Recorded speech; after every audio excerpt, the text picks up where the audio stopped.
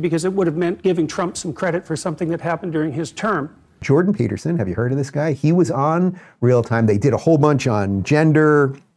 And Then they got into the Middle East and they got into Trump and what's going on with the Democrats and, and a bunch more. Jordan Jordan was just spectacular. I highly recommend you watch the the full panel on that. It's interesting because Jordan really uh, he makes Bill sort of better because you can see a lot of times where Bill sort of defaults back into his kind of like lefty liberal posturing, and Jordan kind of pushes him to rise up a little bit more. Uh, but they got into it about Israel and what's going on and how the Democrats have gone off the deep end. And Jordan related that back to, well, maybe it has a little something to do with their unhinged hatred of Trump and the things that he actually accomplished. I think you can lay a fair bit of what happened in Israel on Biden's plate.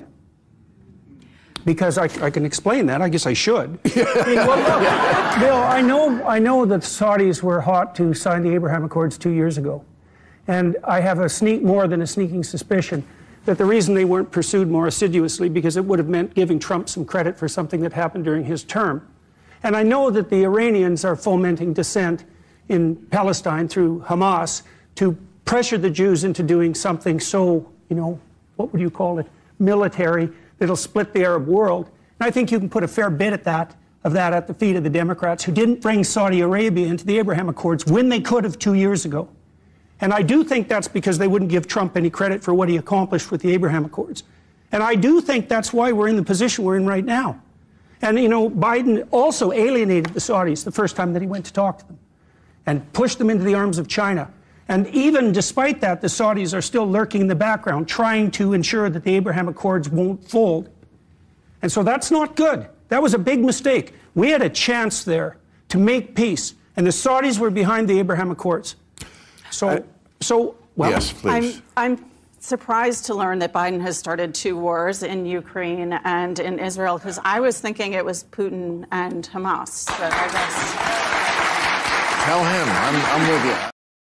Okay, so we left that little ridiculous applause line in from that woman. She's a New York Times chick in the red, and she's just like, it doesn't matter. Like, she's just an avatar for like the sort of do nothing liberal, blah, blah, blah, blah. Jordan say Jordan didn't say that Biden started those wars. He said a, a, certain amount of blame is to be on Biden and the Democrats. And then he laid out a rather compelling argument for that, which we all know is true. Do you remember, what was it, 10 days? Might have been eight or, or even maybe a week before uh, October 7th, before those Hamas attacks, when everyone knew, Netanyahu basically said it, we've got the deal with Saudi Arabia. Like it was going to completely change the face of the Middle East.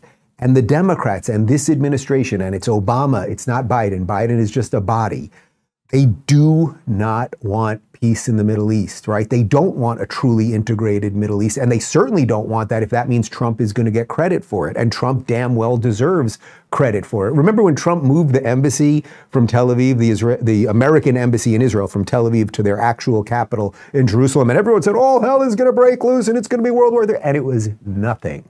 And then suddenly all these peace deals got signed.